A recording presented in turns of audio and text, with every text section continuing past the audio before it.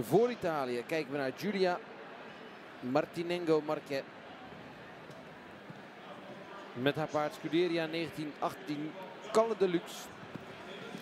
Scuderia is dan ook eh, de sponsor.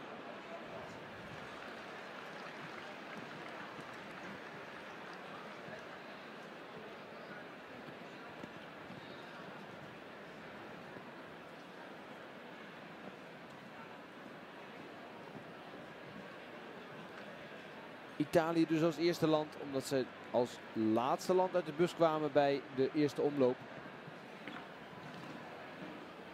Een balkje daar op minus 4. Oeh, aarzeling op het water. Ook daar een fout. Oeh, en nog een balk. Dat gaat hard. Acht strafpunten in de eerste omloop voor deze combinatie. Nu dus al 12. Wel goed door de driesprong.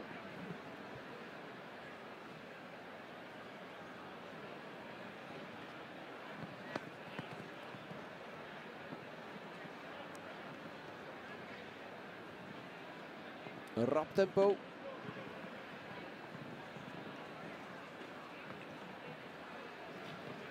Ja, dat laatste gedeelte gaat goed.